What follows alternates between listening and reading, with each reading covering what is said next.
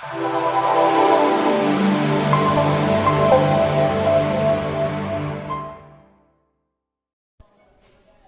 up, Flex Team?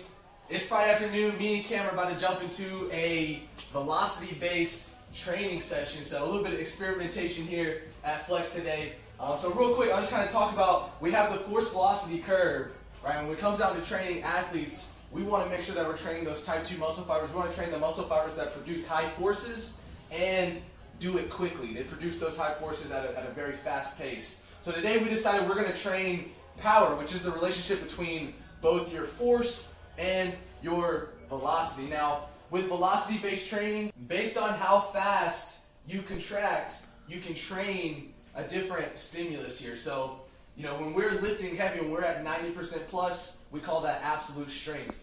When we're super light, say we're below 25% of our one rep max, we're at starting strength, right? And this follows with our force velocity curve. So absolute strength would go with force, starting strength would go with velocity, and then you've got your ones in the middle, which are kind of like your power. So today, what me and Cam are going to do, we're going to specifically target our strength speed. Okay, and that means we need to be training at a velocity of 0.75 to 1.0 meters per second. Now, you know, we got the technology here at Flex. So we've got this push band. Okay, what we're going to do is we're going to use the push band to tell us the velocity that we're putting on the barbell. We're going to specifically, the move we're going to be doing is going to be the sumo deadlift. We're going to have the push band on, and we're going to use that uh, to find out at what weight are we within that 0.75 to 1.0 range. Once we find that weight, then we're going to do sets of two until we fall out of that range. So, all right, guys. So right now we're building up to our starting weight.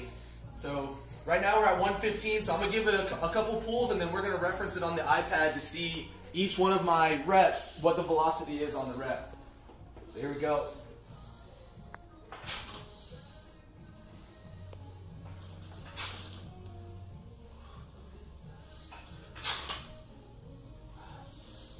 Bam. And so if you guys saw the screen there, I, which I can go back and show you, I started at a 0.81. By the time I got to that third pull, I was at a, a 1.02. So my average velocity that set was a 0.9, which means I am within that speed strength range, or strength speed, strength speed range. So this is good. This, is, this means I could use this weight for the 10 sets of two, but we're going to let Cam get a couple rips on this thing and see if he's also within that range. Then if we're both good, we're going to jump into our workout. All right, fam. So Beeson had uh, his set pretty much dialed in that range. We're looking to train uh, power really well. I'm gonna get a couple of pulls uh, and see where I'm at. That way I can know uh, how close we are and stay in that power base range, roughly 30 to 80 percent. I think I'd get on your iPad real quick. There we go.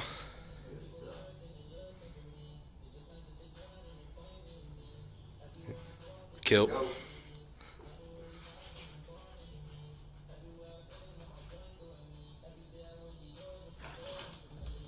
Point nine three. 1.15, 1.09.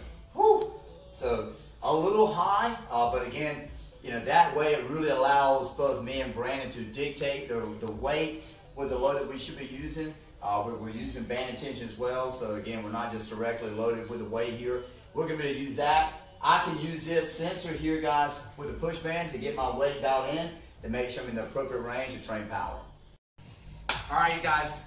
So we've built up. We've got well 165 pounds with just the bar and the weights alone, but then we've got this band tension. So who actually knows how much it is? But we're within the ranges that we need to be for our velocity. So this is the first official working set, and we have a goal of, of 10 sets, but we'll see how many we get. So long as we stay within the range, we'll just keep ripping these things out.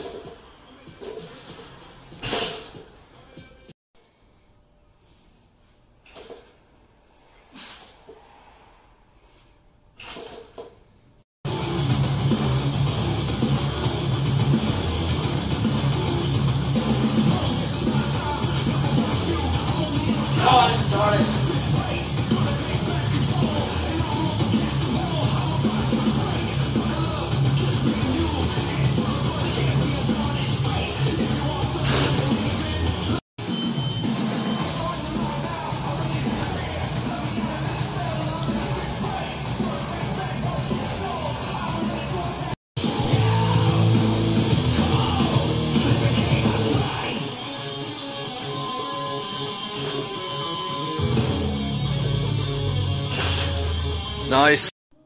All right, team. So me and B just finished up our sumo pull session, really focused around power, contractile, fiber activation.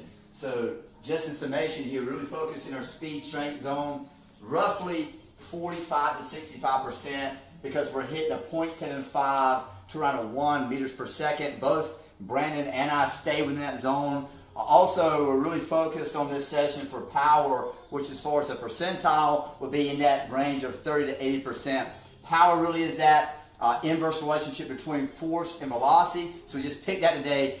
Brandon and, and myself, we use today's session, guys, to kind of replicate a speed endurance setting. So we both went for 15 rounds on like a 20 minute clock, you go, I go style, had the push band on, pulled two, and I mean, we freaking pulled those things fast as we could, made the switch.